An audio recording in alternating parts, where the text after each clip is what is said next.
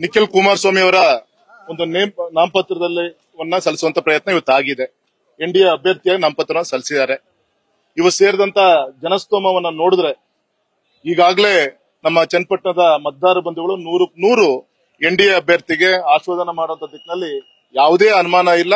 ಆ ರೀತಿಯಂತ ಒಂದು ಜನಸ್ತೋಮ ಎಲ್ಲ ಹಿಂದುಳಿದ ವರ್ಗದವರು, ಪ್ರಜಾ ಪರ- ಪಂಗಡದವರು ಮಹಿಳೆಯರಿರ್ಬೋದು ಯುವಕರಿರ್ಬೋದು ದೊಡ್ಡ ಸಂಖ್ಯೆಯಲ್ಲಿ ಇವತ್ತು ಭಾಗವಹಿಸಿದ್ದೆ ಒಂದು ದೊಡ್ಡ ಒಂದು ಉದಾಹರಣೆ ಅಂತ ನಾನು ಅಭಿಮಾನ ಹೇಳ್ತೀನಿ. ಮತ್ತೆ ಎರಡನೇದು ಈ ಭ್ರಷ್ಟ ಮತ್ತೆ ಅಸಮರ್ಥ ಸರ್ಕಾರ. ಇದರ ವಿರುದ್ಧ ಮತ, ಮತವನ್ನ ಹಾಕ್ಲಿಕ್ಕೆ ಈಗಾಗಲೇ ಈ ಮೂರು ನಮ್ಮ ಉಪಚುನಾವಣೆ. ಇವತ್ತಿಗಾಗಲೇ ಸನ್ಮಾನಿಸಿತ ಯಡಿಯೂರಪ್ಪನವರು ಶಿಗ್ಗಾವಿಯಲ್ಲಿ ಈಗಾಗಲೇ ನಾಪತ್ತನ ಸಲ್ಲಿಸಕ್ಕೆ ಅವ್ರ ಜೊತೆಗೆ ಸೇರ್ಕೊಂಡಿದ್ದಾರೆ.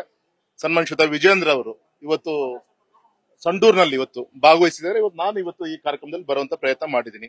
ಎಲ್ಲಾ ಕಡೆಗೂ ಕೂಡ ಒಂದು ಒಳ್ಳೆ ವಾತಾವರಣ, ಒಳ್ಳೆ ಸುದ್ದಿಗಳು ಬರ್ತಾ ಇದೆ. ನೂರಕ್ ನೂರು, ಮೂರಕ್ ಮೂರು ಕೂಡ ಕ್ಷೇತ್ರವನ್ನ ಈ ಒಂದು ಭ್ರಷ್ಟ ಆಡಳಿತದ ವಿರುದ್ಧ ನಮ್ಮ ಎನ್ ಡಿ ಅಭ್ಯರ್ಥಿಗಳನ್ನ, ಭಾಜಪ ಅಭ್ಯರ್ಥಿಗಳನ್ನ ಆಶ್ವಾದನ ಮಾಡೇ ಮಾಡ್ತಾರೆ ಅದರಲ್ಲಿ ಅತ್ಯಂತ ಹೆಚ್ಚಿನ ಅಂತರದಲ್ಲಿ ನಮ್ಮ ಚನ್ನಪಟ್ಟಣ ಇವತ್ತು ಸೇರಿದಂತ ಜನಸಮೂಹವನ್ನು ನೋಡಿದ್ರೆ ದೊಡ್ಡ ಒಂದು ಅಂತರದಲ್ಲಿ ಆಶೀರ್ವಾದನ ಮಾಡುವಂತ ಯಾವುದೇ ಅನುಮಾನ ಇಲ್ಲ. ತುಂಬಾ ಎಚ್ಚರಿಕೆಯಿಂದ ಚುನಾವಣೆ ನಿರ್ವಹಣೆ ಮಾಡಬೇಕಾಗತ್ತೆ. ಎಲ್ಲೋ ಒಂದ್ ಕಡೆಗೆ ಅವರ ವಿರೋಧ ಪಕ್ಷದ ಲೆಕ್ಕಾಚಾರ, ಅವರ ಲೆಕ್ಕಾಚಾರನೇ ಬೇರೆ ಇತ್ತು. ಅದೇ ಇವತ್ತು ಸ್ವತಃ ನಿಖಿಲ್ ಕುಮಾರಸ್ವಾಮಿ ಸ್ವಾಮಿ ಸ್ಪರ್ಧೆ ಮಾಡಿದ್ರಿಂದ ಅವ್ರ ಸೋಲನ್ನು ಈಗಾಗಲೇ ಒಪ್ಕೊಂಡಿದೆ ಅಂತ ಹೇಳಿ ನಾನು ಹೇಳಲಿಕ್ಕೆ ಇಚ್ಛಪಡ್ತೇನೆ. ಅಂದ್ರೆ ಸರ್ ಮೈತ್ರಿ ಟಿಕೆಟ್ನ ಕೊಡ್ತೀವಿ ಅಂತ ಹೇಳಿ ಕೊನೆ ಕ್ಷಣದವರೆಗೆ ಕಾರಣ ನಾನು ಮೋಸ ಮಾಡಿದ್ರು. ಹಾಗಾಗಿ ಕಾಂಗ್ರೆಸ್ ಸೇರ್ಪಡೆ ಆಗಿದ್ವಿ ಅಂತ ಹೇಳ್ತಾರೆ ಯೋಗೇಶ್ವರ ಅವರು. ಬಿಜೆಪಿ ನಾಯಕರು ಸುಳಿಯುವಂತ ಪ್ರಯತ್ನ ಮಾಡಿ ಈಗಾಗಲೇ ನಮ್ಮ ರಾಷ್ಟ್ರೀಯ ನಾಯಕರು ಗೌರತ ಯೋಗೇಶ್ ಅವರು ನಮ್ಮ ಪಕ್ಷದ ಒಂದ್ ಒಂದ್ ಕಾಲದ ಒಂದು ಮುಖಂಡರು.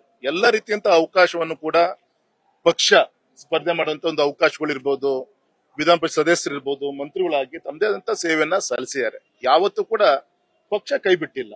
ಆದರೆ ಇವತ್ತು ನಮ್ಮ ಪಕ್ಷಕ್ಕೆ ವ್ಯಕ್ತಿಗಿಂತ ಪಕ್ಷ ಮುಖ್ಯ ಪಕ್ಷಗಿಂತ ದೇಶ ಮುಖ್ಯ ಅಂತ ಹೇಳಿ ಸಂಕಲ್ಪ ಮಾಡಿ ಮೊನ್ನೆ ನಡೆದ- ನಡೆದಂತ ಲೋಕಸಭಾ ಚುನಾವಣೆಯಲ್ಲೂ ಕೂಡ. ಸುಮಾರು ಡಾಕ್ಟರ್ ಮಂಜುನಾಥ್ ಅವರಿಗೆ. ಇಲ್ಲಿ ಬಂದಂತ ಅಂತರ ಇರ್ಬೋದು.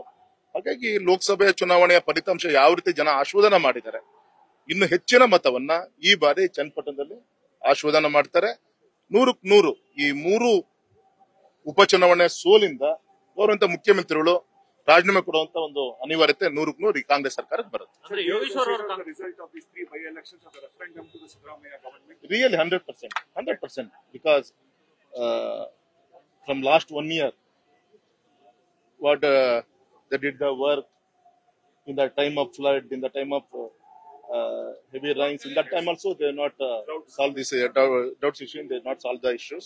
So 100% this time, against the Congress government, they go. Thank you. Ashok sir News first ನಿರ್ಭೀತಿಯಿಂದ ನಿಮ್ಮ ಪರವಾಗಿ.